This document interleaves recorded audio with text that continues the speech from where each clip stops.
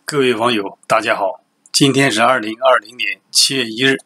今天呢，新华社、人民日报、中央电视台啊，都发表了一篇文章，讲到呢，李克强主持召开国务院常务会议啊。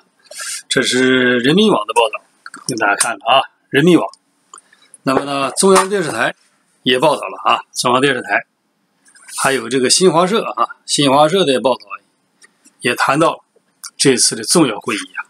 这个会议解决什么问题呢？要解决中小微企业允许地方政府专项债合理支持啊，中小银行补充资本金哈，这就等于透露了什么呢？透露了银行现在陷入这个困境了，有很多企业需要资金啊，特别是那些中等的、小的，还有微的企业。想需要资金支持的时候呢，银行拿不出钱来，甚至有的银行已经经济啊，这个濒临这个破产的境地了。怎么看出来的？你看这里边啊，空前的啊，过去没有过，也就是什么呢？允许地方政府要拿钱的，要出动这个地方政府的一些资金啊，包括什么呢？包括一些认购的可转换债券等方式啊，来干什么呢？来，这个探索一个新的方式。所谓方式就是什么呢？就解救这些银行啊，然后呢，再让银行来帮助企业。你可以看出，现在为什么李克强召开会议讲到什么呢？稳住，稳住啊，经济基本盘，什么意思？稳住经济，别崩盘呐。也可以看出，现在经济国内啊是非常非常的这个困难啊，并非像中共官媒啊宣称那么好啊。官媒总是这样嘛。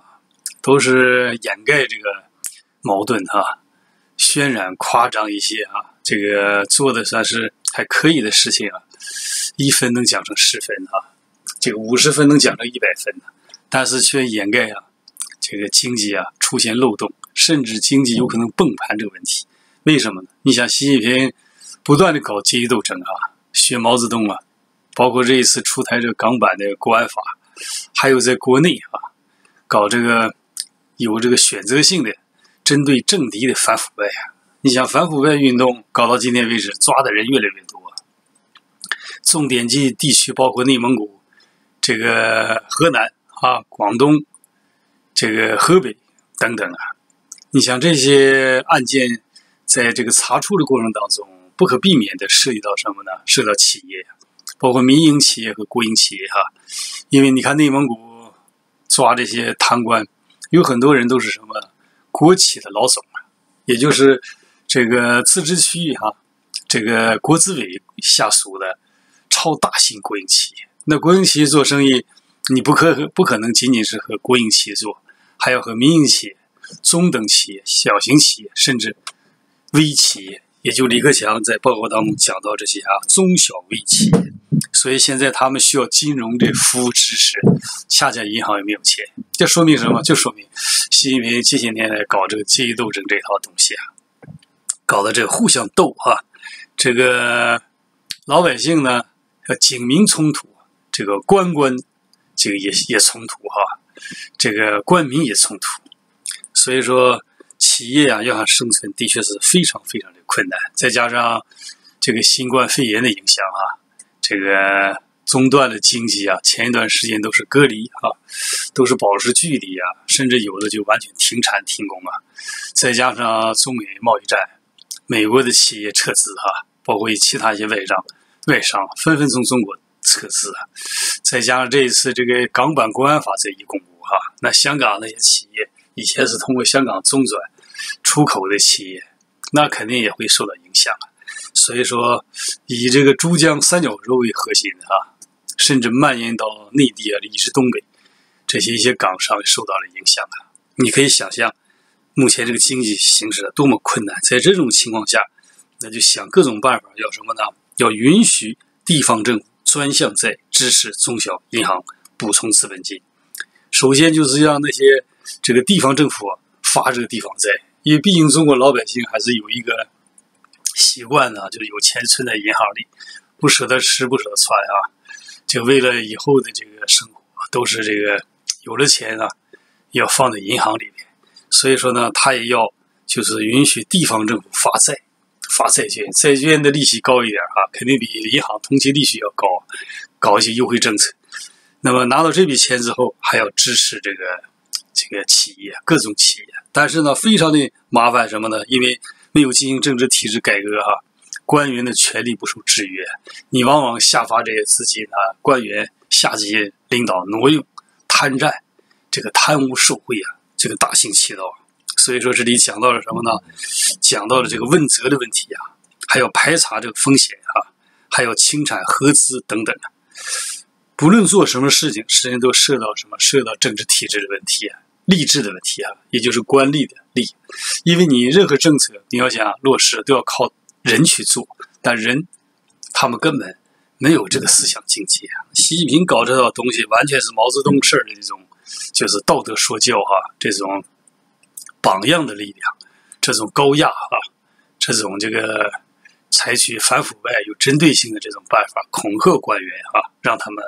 这个去做一些好的事情，这个也是非常非常难的。所以说，正因为如此，也就是李克强和习近平目前这个执政方针啊、治国理念才产生了重大的分歧了。所以说，异乎寻常的这一次啊，没有像以前那样，就是李克强主持这个国务院常务会啊，或者其他会，都在讲话当中啊，这个故意的啊，这个。提习近平的名字，提习近平的理论，这个明明心里不舒服啊，也要颂扬习近平。但这次没有，大家可以看一下七月一号新华社的电稿当中啊，这次是一二三四四个自然段啊，大概有那么一二百字，两三百字的一个报道当中，只字不提习近平，只是讲到什么呢？会议指出，按照党中央、国务院部署，做好六稳六保等等等等啊。你比对一下前几天。这个李克强的报告，李克强的讲话，李克强的会议，那肯定要提习近平，甚至有的时候一段话两次就提习近平，这次没有提，这说明两点：第一点，习近平的确是现在在中国经济这个发展方面啊，起到了一个负面作用啊。李克强总在这个补这个漏洞啊，也在补这个短板，但是跟不上。习近平搞的一带一路啊，搞的这个什么海上丝绸之路，又搞的什么这种。这个大国的什么战役哈，到处撒钱呐，挥霍公款呐，搞的是鸡飞狗跳的啊，捉襟见肘啊，起到反作用的。那李克强肯定了，作为国务院总理是当家人哈，当家人才知柴米贵呀，说没有办法，每天都在这个，这个都在这个哈，这个帮助他开屁股啊。另一方面又非常生气，生气怎么办？委婉的表达出了唯一的办法就是什么呢？就是在讲话当中。不提习近平，只提自己的工作啊。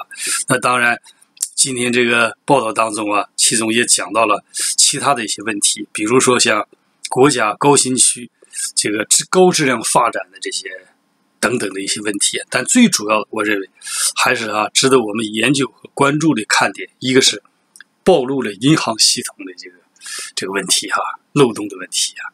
另外就是他和习近平之间这个关系啊，这个微妙的。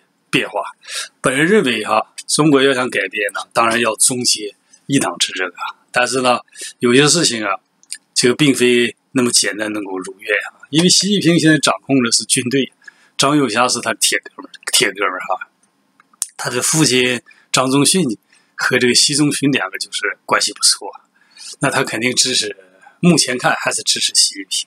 另外，公检法司控制在基本上也控制在习近平手里。特别是抓捕了这个孙立军之后，那公安部控制在这王小红手里。王小红是习近平的一个浙江新军的重要成员呐。此外，习近平还把汤玉军安排到了这个司法部当这个领导哈，取代了傅政华。这说明他也控制了这个监狱这个系统了哈。此外呢，还有这个这个习近平通过这个权力斗争啊，也正在逐步的这个整肃这个高等法院啊。让这个贺荣当了副书记，他就等于在窥视这个周强的位置。周强是共青团派，他肯定不满意哈。你再看检察院，当然现在还是张军了。我估计过一段时间，习近平都会逐步的换人哈。那么还有所谓的什么平安中国的领导小组，那是唐玉军是这个负责人了。也就是说，习近平控制了军队，又控制了公检法司，所以说李克强也没有办法啊。至少短期内。要想翻盘比较难呐。但是，假如哈这个李克强真能这个取代习近平的话，我相信哈肯定比习近平现在的政策要好得多。这习近平搞这套东西，完全是模仿毛泽东时代的基础那一套东西啊，往左的方向倒转呢，再大幅的这个倒退啊，甚至有点给我感觉呢，像这个金正恩哈看齐啊。那下一步如果经济上进一步困难哈，这个美国咄咄逼人啊，这个军事冲突有可能发生，中印边境也是不安平啊不安静哈，香港问题又很麻烦，如果这些问题都云集起来。有可能逼迫这个好大喜功啊，这个习近平啊，就干脆就学习北韩了，可能对中国就要进行这个全民的军事管制啊。到了那时候，可能每一天都是军军事戒严了啊，甚至走到什么，走到这个这个供给制这个地步了哈，最后根本就没有什么。这所谓的开放搞活这套东西都没有了，甚至私有私人财产啊，不仅仅是民营企业家，可能居民个人的财产可能都要受到一些限制啊。这些东西都前景是非常的暗淡啊。所以说，二零二二年如果他继续执政的话哈，本人相信那前景将是非常非常可怕的。所以说，今天这条消息引起我关注，就是什么呢？似乎给我们一点。这个比较好的这个希望，就是说呢，李克强权力啊有一点略微有些上升。如果李克强那个汪洋联手，还有胡春华，还有这个孙孙春兰啊，如果这这些人能够联手的话，这个说不定啊能够逼退这个这个习近平。如果那样的话，真是可以免于啊这个和美国的进一步的下一步的冲突啊，因为一旦。开战，中美军事冲突，就习近平这个领导能力，根本根本不把不可能领导军队打赢这场战争啊！将来这个老百姓付出的代价就太大了。所以说，与其这样，还不如什么？不如党内真的有一次权力斗争啊，真正能够把习近平逼退，那么开启一个新的这样的一个一届领导班子，最起码哈，他都不能进行政治体制改革了，同样是一党执政，但是。或许可以恢复到就是韬光养晦啊，邓小平这个时代啊，胡温那个时代啊。好在前几天这个温家宝有有一个题词哈，这个活动啊，也表明似乎党内也有一些哈这个胡温的势力。这个同情同情同情本人上述观点的一些，可能也有一些党内一些人士哈，再加上一些这个先富起来的这个中产阶级哈，特别是一些民营企业家，说不定也认同这个理念的，那样倒也是一件比较庆幸而且比较实际的一种这个想法呀。那么当然了哈，我仍然是这个保持清醒的头脑哈，希望这个中共能够。这个尽快的走向这个灭亡啊！这个但愿美国能把这个中共和中国人民区别开来哈，这个能够仔细的这个设计一下，精致的这个谋划一下，这个早一点啊，能给中共施压哈，逼迫这个习近平放弃一党执政，特别是个人独裁啊，这才有利于中国人民呐。那么今天的海外奇谈节目就到此结束了，非常感谢广大网友的收看，谢谢再见。